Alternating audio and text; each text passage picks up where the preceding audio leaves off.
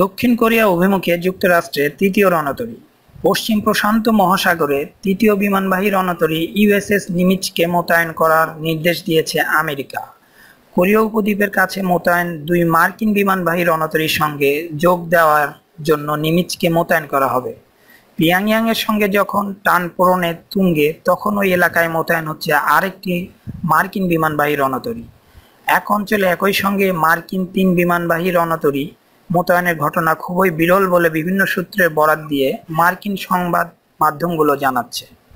মার্কিন সংবাদ মাধ্যমে প্রকাশিত খবরে বলা হয়েছে, পিয়াংয়াংয়ের সাম্প্রতিক সামরিক তৎপরতার পরিপ্রেক্ষিতে উত্তর কোরিয়ায় হয়তো আঘাত হানার নির্দেশ দিতে পারেন মার্কিন প্রেসিডেন্ট ডোনাল্ড ট্রাম্প।